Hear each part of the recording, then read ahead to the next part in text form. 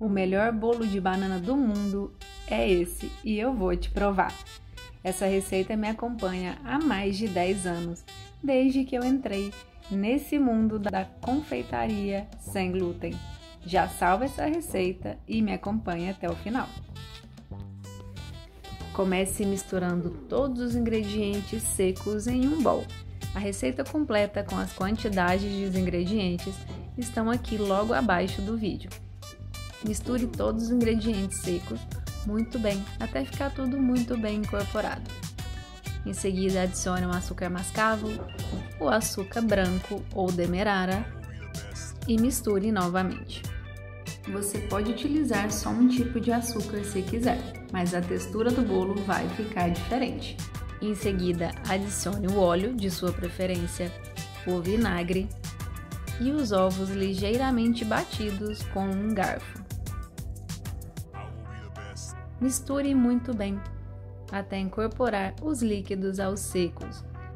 Se você é novo por aqui, já se inscreve no canal para não perder os próximos vídeos e deixe o seu like para apoiar o canal.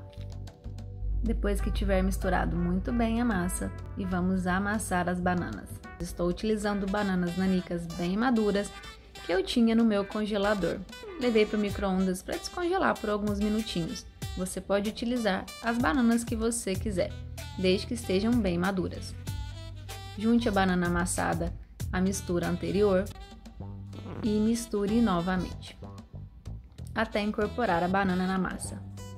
Se a sua massa estiver muito pesada, adicione um pouquinho de água e misture novamente. A consistência da sua massa e a quantidade de água que você vai precisar vai depender da sua banana.